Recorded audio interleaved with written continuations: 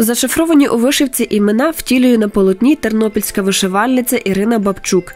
Жінка каже, що зашифровувати у вишивці можна практично будь-яке слово, і для цього є спеціально розроблений сайт. Е, Літера О відбивається в вишитому орнаменті таким ромбіком О і відбивається чотири рази. Так само буква Л відбивається відповідним символом і відбувається чотири рази, тому утворюється такий от квадратик. І таким чином візерунок. І кожне, кожна, кожне ім'я має свій унікальний візерунок. Власне, не тільки можна закодовувати імена, а можна закодовувати е, будь-яке слово, як це як і день тижня, і ну, будь-яке місто, наприклад. Коли вишивальниця вперше дізналась, що існує така вишивана мова, була вражена і захотіла сама спробувати створити щось подібне. Каже, для неї це не просто символи, це зашифрований QR-код нації. Майстриня пішла далі і втілила вишиті імена у прикрасах. Випадково натрапила я в інтернеті на малюнок е, закодованого ім'я. І мені стало цікаво, що це і взагалі що, що це за закодований символ. І я почала шукати. Мені попалася стаття, де розповідалося, що кожен хрест і кожен символ взагалі в українському орнаменті, українській вишивці має певний зміст. І е, кожна літера в імені можна її відбити на, на вишитому візерунку, і це буде мати е, такий, власне, такий може навіть бути оберегом для власника імені. І коли кожна літера відбивається в слові, утворюється унікальний візерунок для кожного імені. Такі вишиті імена виконуються переважно у чорному та червоному кольорах, які є головними і найбільш поширеними в українській вишивці. Ольга Бабчук розповідає: наші предки вважали, що ці фарби дають позитивну життєву енергію. За словами жінки, червоний символізує любов до людини, до життя, енергію сонця, радість.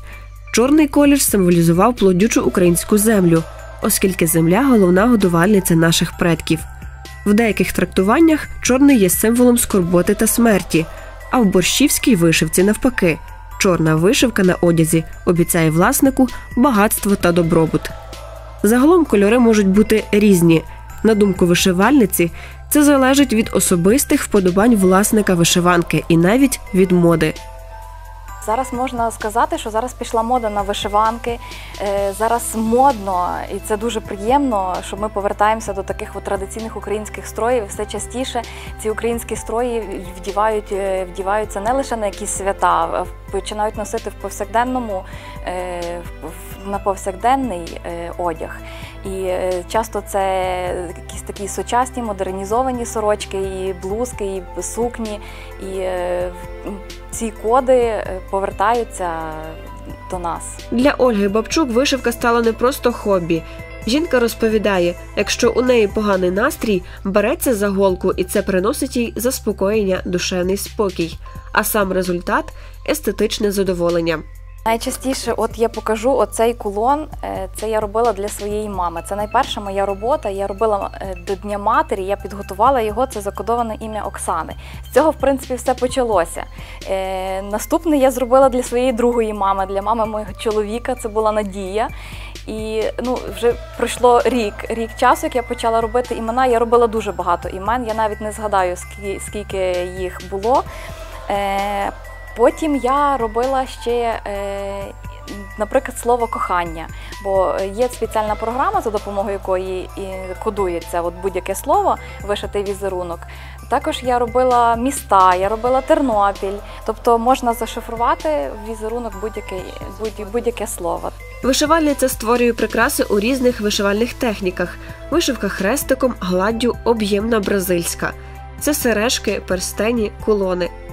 Хочете здивувати оточуючих нестандартним виглядом, етноприкраси саме те, що треба.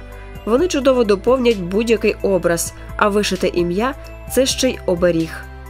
Вишивці е, модно е, те, що є просто, е, без всяких таких великих, якихось масштабних е, розмірів. Е, воно має бути все мініатюрне, маленьке, мінімалізм. Так, мінімалізм.